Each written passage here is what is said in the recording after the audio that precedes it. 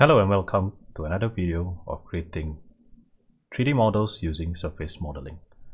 So this is referring to activity 6.1a uh, as you can see here. Uh, so why does one want to do surface modeling as compared to 3D modeling, 3D solid modeling? So uh, one thing that surface modeling gives you is actually the free form uh, characteristics and at the same time you can easily get the curvatures of all these rather quickly. So if you dive in closely into the activity here you notice that on a uh, overall view it looks very simple.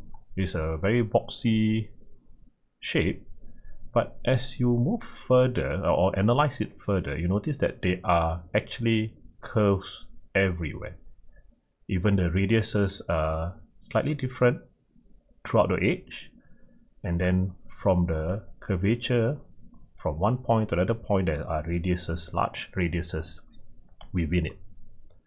So with that you can still do it in 3d solid modeling. Only thing it takes a lot more effort. It takes more time just to complete it as per what you see in the drawing. So for today let me show you how can we accomplish this 3D model using surface modeling. So let's take a look in our inventor. So this is our surface model for this uh, activity. So the idea is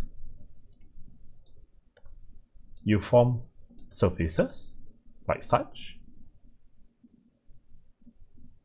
and then once you have created more surfaces you are able to create a solid body at the end of the uh, whole session.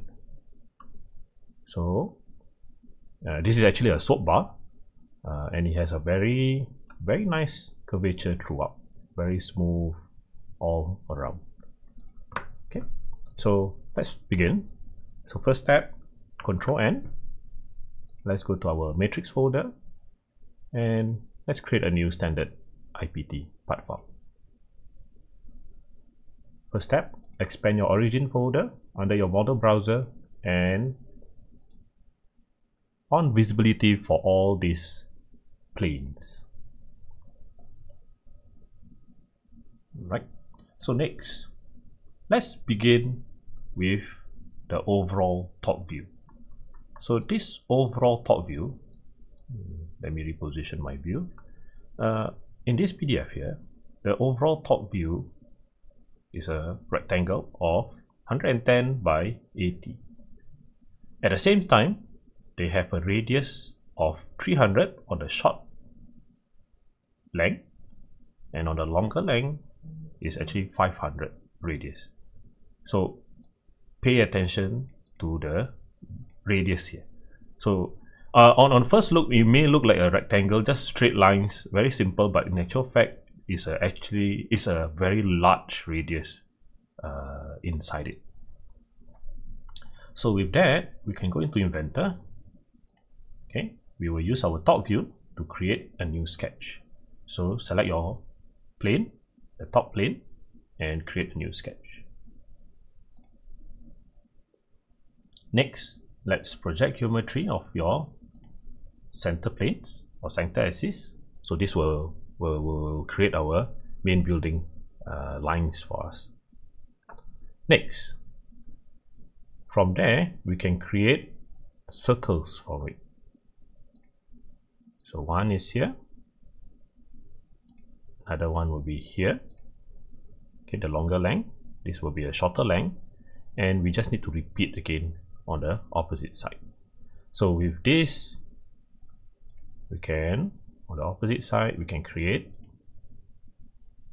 And for the top side will be like this. So just roughly get the shape first because we will be trimming it now.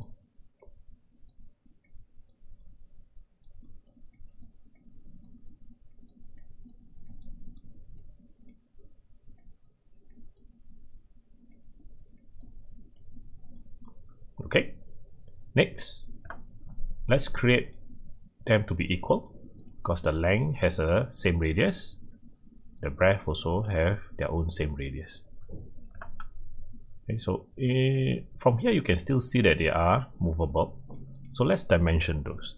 So we know that from end to end it's actually 110 so let's do that.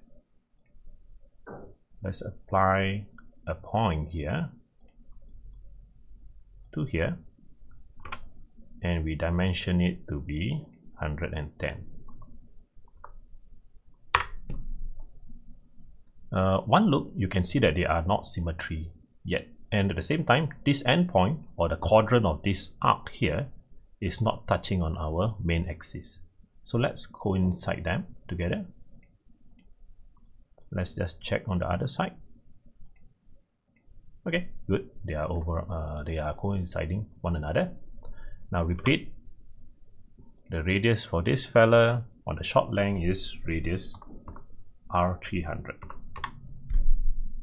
so let's just double check on the other side. Yes it's also 300 now let's do on the lengthwise. So this lengthwise is 500 okay you notice that it can go quite crazy. So let's just undo first and apply some constraint to it or some dimensional constraint to it. So again let's repeat go to the quadrant apply some points. And then make sure that the points coincide with our vertical axis now. And now we can dimension them together. This will be 80 80 and now since we have better control and our, as you can see here our sketch are all fully grounded or fully constrained we can change this to R500 okay so our our sketch are now yeah have changed to a bluish color and it has been fully constrained. And we can finish our sketch here. So this is our uh, the boundary of the shape. Now let's go back to the drawing again. So let me zoom out a little if you can see from the short length here it has a radius of 100 it's not a vertical straight line. It's actually with a radius of 100 okay so please take note of this. And on the other side it also have a radius of 100 r100 so it means that the 100 is being or the radius 100 is being swept along the length wise and also the breadth wise okay so we are going to use the sweep command so now I will use this frontal view or frontal plane to create a new sketch. With that, remember the endpoint that we have created just now? We can actually project that point as a base so that we know that that is the curvature that we want. So let's draw an arc. Oh, before that, let me also start from the horizontal axis to uh, project the horizontal axis so that we can start our arc center point from the axis itself. Okay, from here, let's draw the version of it uh, of a certain length, and then let's constrain the point here to the quadrant of that arc. And this radius is 100. And if we go back to the drawing uh, this has a height of 20 and then of course the other side is looks very symmetrical. Is also 40 in total. So let's go back to inventor dimension it of the vertical height 40 okay so let's just do a drag uh, drag test to make sure that all are fully constrained let's rotate slightly make sure that it's all good. Okay so it's good. We can finish our sketch and we restart again this sketch on the other side on the other plane. Okay which is on here is the end plane. So let's create a new sketch. Same thing project our endpoint sorry. Endpoint and let me just reposition my view and select my horizontal axis again so start off with my arc riding on the horizontal axis and then just create a shape of an arc.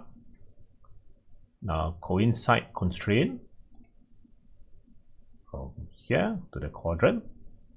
And again, the vertical height of this fella is 40 because 20 times 2 is 40. So I will reuse this height as a parameter for to, to, to give the height of this uh, R100 of the other view. Okay, and of course, this one is also R100. So I will reuse this 100 as my parameter.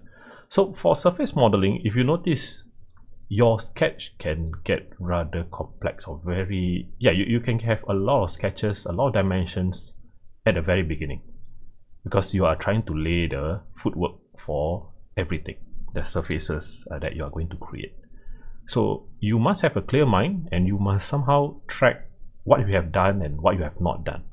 And this is important later on uh, when you, as you can uh, as we move on you can see what's what it means by that. Okay so i have created a r100 on the short breath and r100 on the lengthwise. So what i will do i will sweep it along this curve and sweep it along this curve. So many will be asking why can't i just sweep across everything uh, there is a r30 radius from our drawing at the same time, we can actually just do one part of it or one side of it and mirror it across. So that's why it's important when you start off a drawing or, or a design, always check whether is there a symmetry to it. Because with that known, we can actually design your product right in the middle of the planes here of your software and you can mirror them across to simplify your workflow. Okay, so with that, we can finish our sketch and now we can try sweeping. So let's click on the sweep command here. So in sweep command, right at the top right hand corner uh, or for Autodesk Inventor, you can see that you can toggle between a solid model and a surface. So this orangey color is telling you that it's on surface mode. The blue cube is actually a solid uh, mode. So let's swap it over. Now the profile will be this. And our path, let's click on here. You notice that we can also create one shot. Okay, this is possible. But let me show you another method just in case that you have variable radiuses. Okay, so if your radiuses are the same for everywhere, uh, this method will work. But in a case where this radius on the short breath and the lengthwise is very different let me show you another method. Okay? So first step you need to divide this path uh, uh, between each of a sketch. So let's create a sketch again from this plane okay now we, what we need to do is just click on project geometry and project one of the path here so what happened is we are using this guy as a profile and using this projected edge as our path. Now finish our sketch, we recreate another sketch on the same plane, project geometry again, and this time we will use it on the lengthwise. And finish your sketch. Okay, so if you go into your model browser and hover on your sketches, you have one path for this breadth-wise and you have a another path for the lengthwise of this sketch. Uh, with that, I can actually simply off my original sketch. So right click V or you just right click off the visibility here.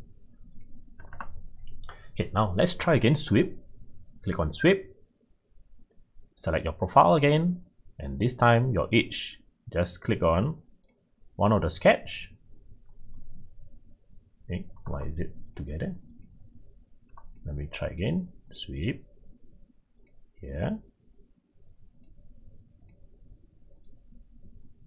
let's right click select others and we can select our path or curve by itself individual individual curves. And press ok. Sweep again. Select our profile. And now we can select our path. So if you notice there is a surface body folder that appears. So every surface that you have created, it will be consolidated in this surface body folder. This is good because you can quickly find what are the surfaces that you have created. Uh, you, I mean, some will argue like, hey, you can still find your surfaces on your uh, model browser throughout the whole uh, features. However, as the as you go and work on your model, this list will get very long and it gets difficult to track on the different surfaces. Okay, so using this, let's just rename this fella. So end surface. Then click again, and we rename this as our front surface. So we have two surfaces, yeah. Let's mirror them. So mirror click on our surface here and click on our mirror plane and press OK. Repeat the same method. Feature, right click, continue, and select our uh, mid plane for the mirroring and press OK. So now we have a general shape of the soap. Okay, so let's continue uh, we are to create the top surface and the bottom surface. So let's check back on our drawing. So for this surface, means the top surface, yeah, either here or here, uh, you notice that it's a curvature and they are also symmetrical together. So from here, same. This one is also similar to the other side. For the plan view, so it looks the same. Here and here, they are the same. So the good thing is we can simplify this design. We can just create one of these surface, generate them, and then mirror again. Repeat the whole process that uh, whatever we have done at the uh, beginning when we created the end surface and the front surface. Okay, so the dimension for this fella, uh, we have we have this portion here that is flat. Okay, it, it didn't mention, it only gave you a dimension of 40, the full length of this. However, as you move on, there is this portion that is R200. So take note, uh, it may be tricky for your some of you. May, they may assume that this whole piece is actually 200. So how does one know whether is there a flat surface or not? So always check your isometric view. Sometimes they give you some information. Uh, if you have a R200, a fully a full arc of R200, you will never get these lines here. These lines are actually, or these edges here, they are actually uh, tangent edge. So to have that is always to have a flat surface and then there's a change of curvature, which is the R200. Right? So that's uh, surface generation. So for this case, if uh, the question require you to have these edges, which is edge of tangency, you must have a change of surfaces. Okay, so let's start. Uh, let's go back to our inventor. I will create a new plane on the vertical front uh, plane, a new sketch, sorry. Then our project again, you notice the process is always repeating. Project first to make sure that our reference are correct. And then we can draw a line first right in the middle. Let's constrain it midpoint to this uh, vertical axis. And now let's constrain it on here to here. Uh, it doesn't work so let's project that edge. Okay and now collinear. Here to here. Escape. Let's highlight this piece and change it to construction method. Now we need a radius of 200 here and 200 here. So let's do that. So circle. Uh, this 200 they did they, they did not mention as to where exactly it's supposed to be okay uh, what I mean by that is where is this center can it it can be here but if you notice if I were to bring that center here this arc will never begin from this point here. So you must uh, analyze the design and then try to move your uh, sketches around just to make sure that you are uh, modeling correctly. so for this is here then from this edge let's coincide them together. Oh, let's repeat again. Since I can't click it right click select others and select the point and click on this circle. So it will extend to that point here. Now click on front again. Uh, so let's check back the drawing. So there's a R200 and this R200 actually has an intersecting point with our 15 so this 15 is right to the middle of our model. So this is important because we need to find out what is that curvature. Okay so let's go on. So we are here now. Uh, we need to get that sketch again so remember this portion here that we have created? So let's right click on visibility for this sketch. So remember the r uh, no not radius. Uh, remember the dimension 15 so that dimension 15 is actually the intersection for this arc here or the circle for this case because I haven't trimmed yet and this created R100 arc at the very beginning. And this point of intersection is dimension to the horizontal axis which is 15 mm so let's uh, project that edge first. Here. And then let's trim off.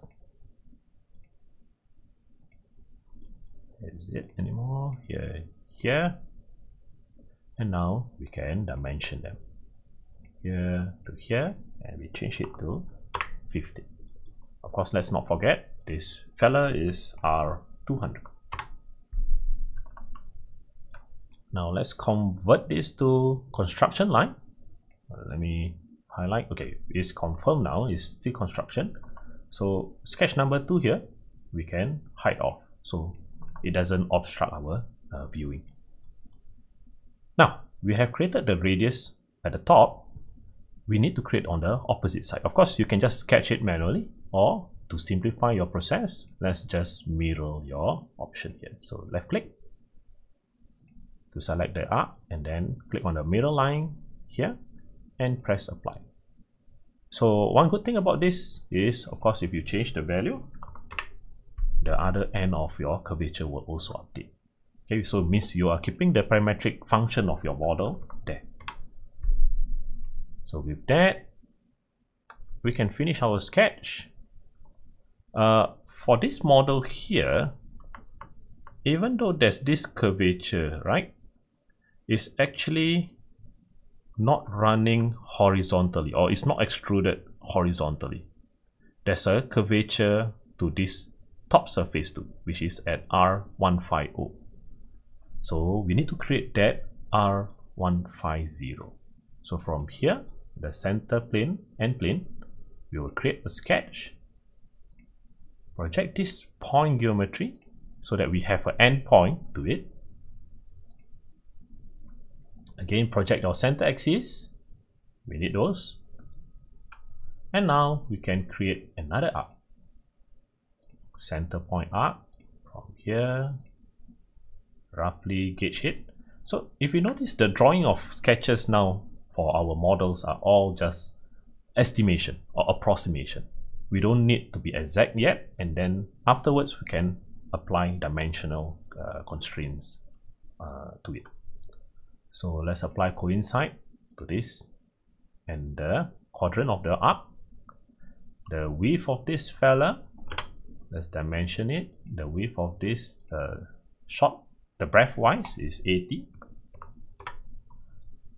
okay. And the radius here is 150 okay of course this 80 we can reuse the dimensions from your first sketch in the overall design. Okay, so let me just double click uh, right click switch it on first okay? On visibility double click on this 80 of my current sketch and apply it to my the main overall design. So when I change this this fella will also change. So you do not get any error as you move on later on. So let's off it again press right click press V. Now we have the lengthwise and of course the breadth-wise design now of the top surface so in this let's finish our sketch we will create a sweep function. So let's sweep, select our path, and press OK. And it's looking better now. So if you notice for surfaces, it's just orange translucent surfaces. It gets very confusing. So don't worry, uh, it, it, takes a while to really get used to it. So for here, what's left? We just need to mirror that created newly created surface. Right click, continue, select our horizontal surface, uh, plane, sorry, and press OK. So now we have six sides or six surfaces. One, two, three, four, and then the top and the bottom surface. Six in total. And like a dice, once you have these six surfaces, and if you analyze it carefully, they are all intersecting one another, we are good to create a solid body now. So with that, we go into the surface area here, we can actually sculpt them together. Okay, so sculpt one, select all six surfaces. Okay, if you have correctly selected the surfaces and it forms an enclosed body, Inventor will actually preview for you how does it look like as a solid. So when you see these green outlines, those are actually the solid body. So we can press OK now and you will obtain a grayish uh, model then, which means this is a solid model. If you notice, we have a new folder here called solid bodies. Now, let's apply our radius, which is R30 across all the corners. So fillet, one, two, three, 4 okay so if you notice I did not even rotate the model. We can just approximate where exactly the edge is. So with this we apply change the radius of 30 okay and now for the best part here there's a variable radius so let's apply on the long or the lengthwise is r10 and on the uh, breadth wise is R15 on these two surfaces. So let's recap on these two edge and here and here on the breadthwise is R15 and on the lengthwise here and here, here and here is the uh, R10. So go back to your fillet tool, look out for this variable fillet. So click on it. Now select on our edge.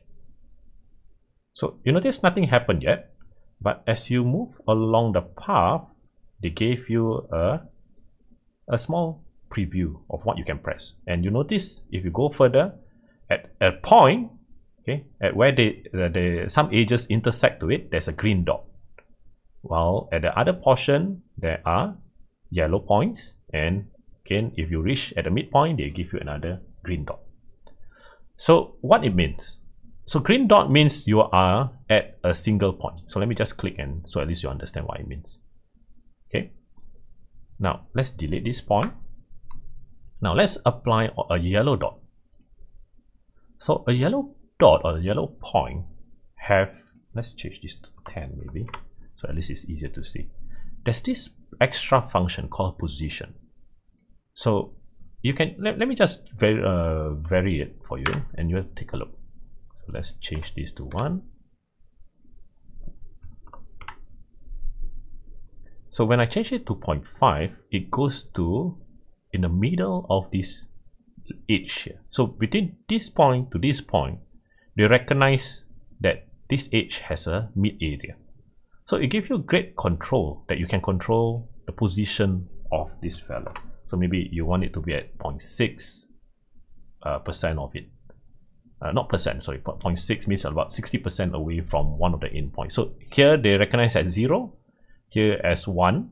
So in the middle just now 0.5 and then as you go 0 to 1, here is 6, 0.6, 0.7, 0.8, blah blah. And then you, you know, you know, you get what I mean. So let's delete this portion. Okay, so for this point 1, this is actually 10. Then let's click here again, add another point, another 10 left click here again this is 15 so you just do a good flow to it you can see there's a change of radiuses really click here and apply the radius again. 15